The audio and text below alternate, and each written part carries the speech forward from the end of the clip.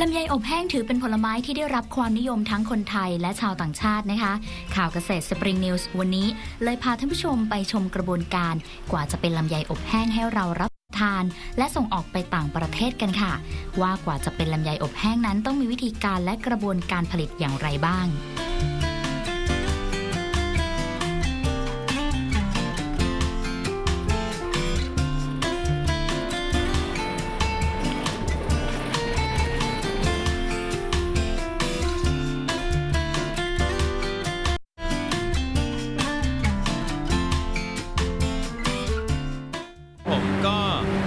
ก็จะเอาลำไยเนี่ยเข้ามาเทใส่ตะแกรงนะครับ ตะแกรงแล้วก็จะมีคนยก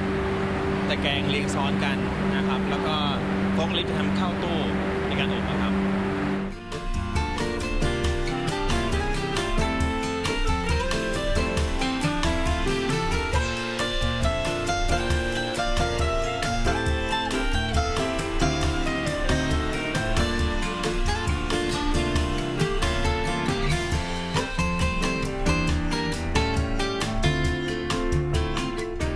คือหลังจากที่เราอบในเวลา 50 ชั่วโมงแล้วเนี่ยนะครับ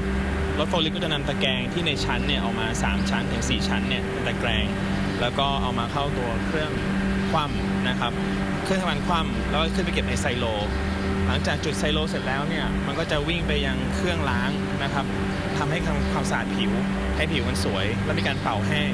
แล้วไปใส่เครื่องร่อนอีกทีหนึ่งนะครับ เพื่อแยกเกรดเป็น 2A A B ครับ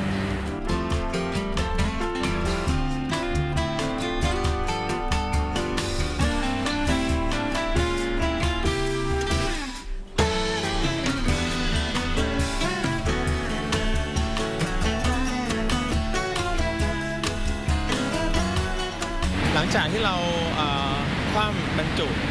ของในเซโลแล้วนะครับ เราทิ้งให้มันแห้งทิ้งให้ให้มันให้มันคลายตัวก่อนมันยังไม่ร้อนนะครับ ให้มันเย็น หลังจากนั้นเนี่ยเราก็จะเอามาใส่เข้าเครื่องล้างนะครับ เพราะว่าลำไยเนี่ยมันจะมีน้ำตาลของมันนะครับ แล้วก็ล้างออกแล้วก็เป่านะครับ โดยใช้ความร้อนเป่าให้มันแห้งอีกระดับหนึ่งเพื่อไปเข้าเครื่องร่อนมันแยกเกรดเป็นเชนเอ่อเป็นไซส์ 2A A B ครับ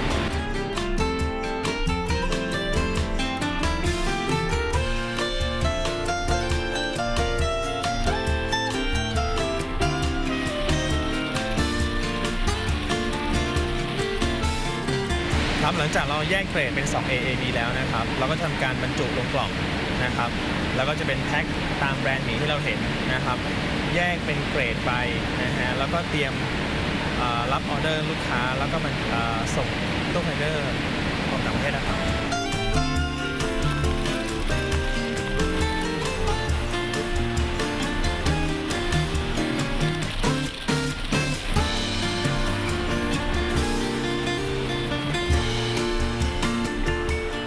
จะทำลำไยอบแห้งแล้วนะคะ โรงงานแห่งนี้ยังแปรรูปลำไยเป็นลำไยที่พร้อมรับประทาน หรือที่เรียกอีกชื่อหนึ่งว่าลำไยสีทองอีกด้วยละค่ะ ตรงนี้ก็จะเป็นโรงงานลำไยสีทองอีกแห่งหนึ่งนะครับ ของทางโรงงานจาก RK Food ที่ทำนะครับ ก็ด้วยความที่ว่ามันจะแตกต่างจากทั้งเปลือกนะครับ โดยที่ว่าเราต้องแกะเม็ดแล้วก็เปลือกออกก่อน นะครับ แล้วก็ถึงจะทำการโปรเซสทั้งหมดเท่าที่เห็นนะฮะตัวนี้เนี่ยในด้วยความที่ว่ามันมีมูลค่าราคาสูง เพราะว่าจาก 10 กิโลจะกลายเป็น 1 กิโลแห้งนะครับ แล้วก็จะใช้คนงานเท่านั้น ยังไม่มีเครื่องจักรเข้ามา แต่ว่าตลาดก็โตขึ้น คนจีนเริ่มทานแล้วนะครับ ทานง่ายเป็นสแน็คทุกคนกินได้แล้วได้คุณค่าด้วยนะครับผม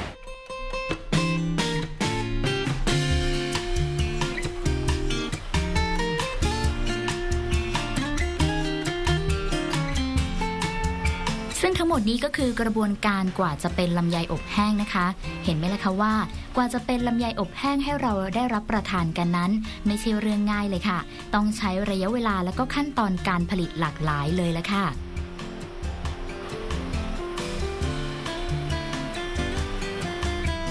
ถือเป็นอีกหนึ่งผลไม้ที่